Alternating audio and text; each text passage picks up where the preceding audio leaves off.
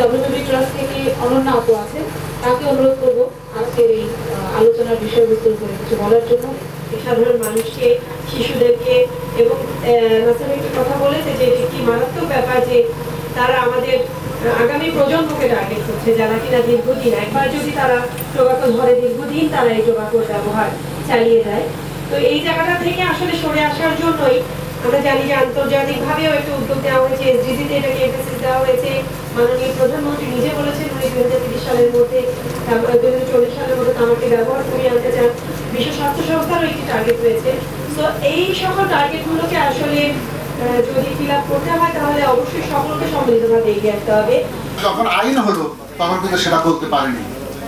কেননা আইন যখন হয়েছে, আইনের প্রতি যেমন মানুষের শ্রদ্ধাশীলতা আছে, সচেতনতা আছে, সেভাবে আইনের প্রতি এক ধরনের ভয়ও আছে পরে আইন মানুষ মানতে বাধ্য যার জন্য আজকের এই প্রতিবদ্ধ বিষয়ের সাথে সবচেয়ে বেশি সঙ্গতিপূর্ণ আইনে এই বিষয়গুলোকে সংযুক্ত করা।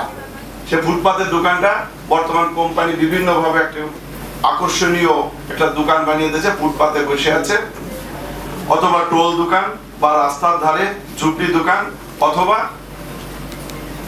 হাতে করে নিয়ে বেড়াচ্ছে মোবাইল দোকান।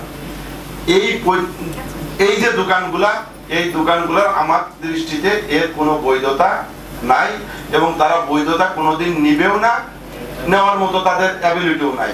এই বা- বহুজাতিক কোম্পানিরা আমরা জানি যে ইতিমধ্যেই কর নিয়ে সরকারের সাথে যদিও বা আমাদের আম, কর সংক্রান্ত বিষয়ে একটা এখানে যুক্তি তুলে ধরা হয় যে আছে তাদের একটা নজরদারি আছে, পত্রপত্রিকা আছে। তাদের নজরদারির কারণে তারা প্রকাশ্যেই বাজারজাতকরণগুলো করতে পারছে না।